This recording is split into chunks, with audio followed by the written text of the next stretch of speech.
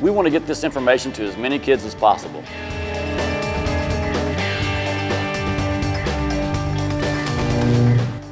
We'll bring our set to you.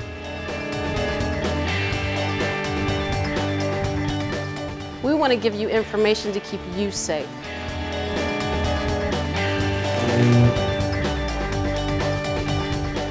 Demonstrations are fun. But this is serious business. Well, trust me, you don't want, you're not going to want to eat this dog. Always be aware of your surroundings. Keep in mind that energized lines out in the field, it's not like movie magic. They don't spark, they don't snake around, they just lay there looking innocent enough. Assume any wire that's on the ground is energized and stay 10 feet away. Electric lines don't change color if they're live or if they're dead. Think hot, stay safe.